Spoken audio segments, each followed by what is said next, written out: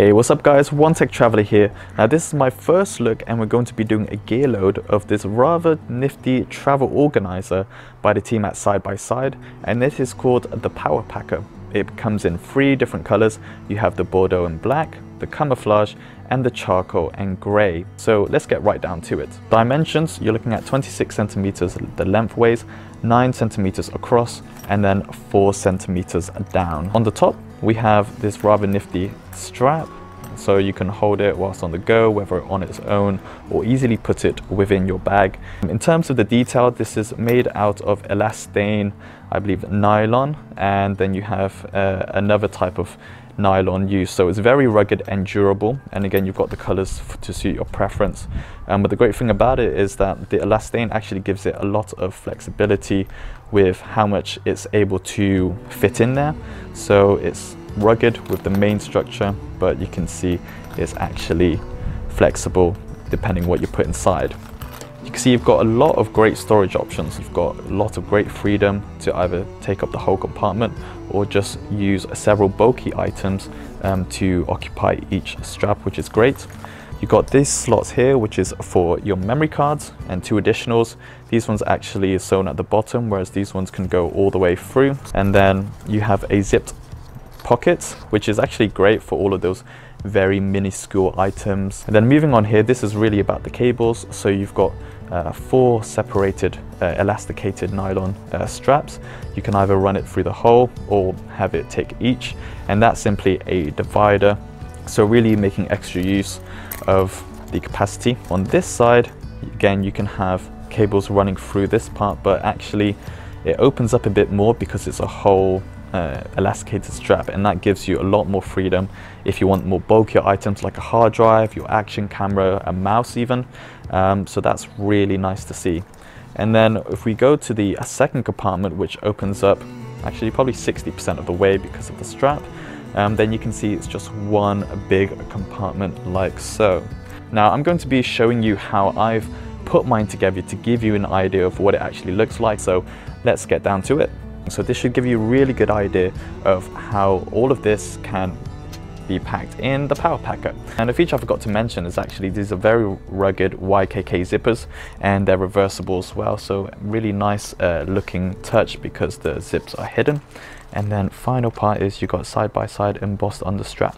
For a lot of the accessories, um, I tend to carry around my memory cards and business card. I'm gonna use the memory card slot. So again, I carry quite a few memory cards and I prefer to slide it in like so because they stopped right at the edge. Carry some additionals, uh, micro SD cards for my action cam, or if you have a drone, um, then again, the zipper is great place to store that. My Passport Ultra from Western Digital, I like to use the extended strap here and Occupy 2. So I have a Surface Book, um, so the brick is not too bad, um, but I tend to split them apart and then wrap the cord around it. So I'm going to take the UK 3-pin plug, and you can see it's three pronged and that's where the elasticated um, part of the power packer is great at having because when I feed it in this can comfortably poke out and not be a problem. And then put this one in like so.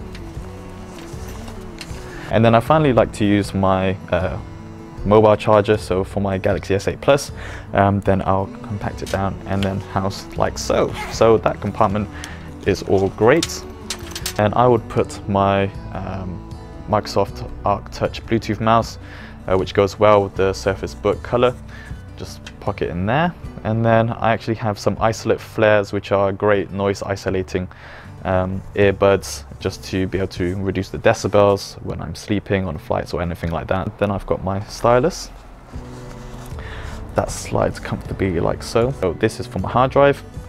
I'm going to thread this across the whole part and this is really just giving you an idea of how you'd want to set up uh, your power packer. Um, this solution tends to work very well for me and I found it to be really good um, example of how you might carry a lot of tech or if you're a photographer and you carry a lot of cables and batteries with you. Um, it doesn't have to always be as cumbersome as it might currently be. And you can see we're nearly done and again it's still kept a decent profile. It's obviously added a bit more girth um, but it's still very compact and we'll see how it measures right at the end.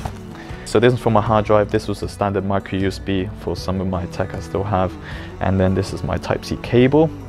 So I'm going to just feed that like so and I'm happy to just wrap that across the whole because my mouse flat packs then I can actually put my uh, Yi 4K Plus uh, spare batteries in there and we're done. Let's see how well it closes.